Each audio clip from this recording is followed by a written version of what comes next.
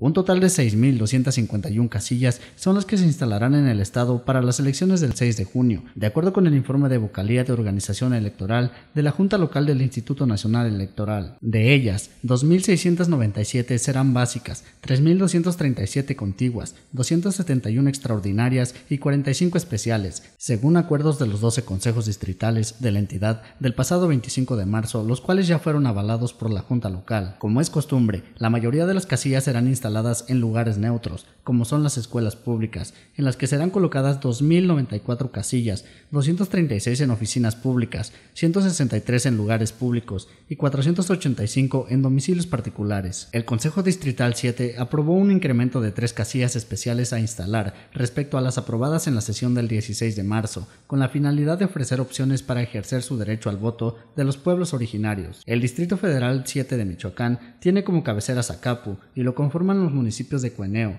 Charapan, Cherán, Chilchota, Erongarícuaro, Jacona, Nahuatzen, Paracho, Purépero, Quiroga, Tangancícuaro, Tlazazalca y Zacapu. Como parte del procedimiento para determinar la ubicación de casillas, las juntas distritales también identificaron los electores mal referenciados y 405 ciudadanos fueron asignados a la casilla extraordinaria o básica que corresponde al domicilio donde radican con el fin de garantizar su derecho al voto. Con información de Rebeca Hernández Marín, Agencia Cuadratín.